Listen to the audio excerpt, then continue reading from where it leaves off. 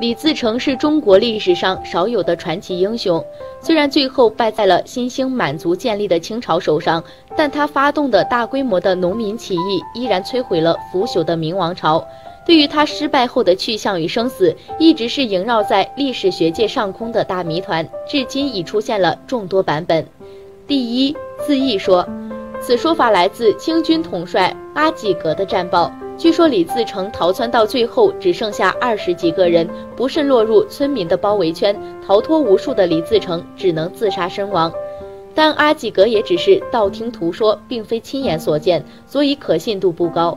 第二，袁继说，这种流传最广的说法认为，李自成失败后，只身一人逃到石门县，并在夹山寺隐居下来，出家当了和尚，法号奉天玉，以此来躲避追捕。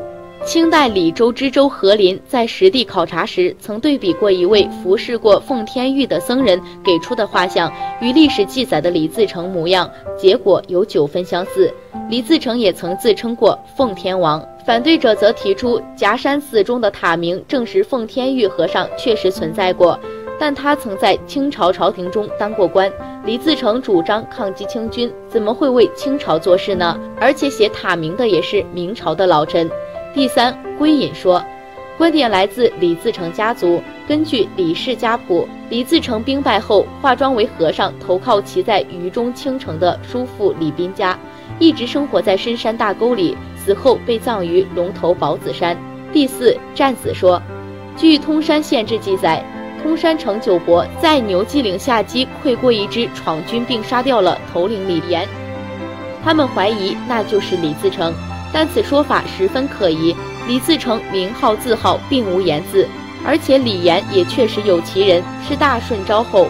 第五误杀说，据随寇纪略记载，李自成逃到通城九宫山的时候，被当地居民误认为劫匪，围殴而死。这次农民起义的历史资料大多已被销毁，导致李自成的生死之谜一直没能解开，千百年的寻人启事也一直不得被求证。你觉得哪个版本更有可能呢？欢迎留言和我们一起探讨。喜欢我们的视频，记得点个关注加转发哦。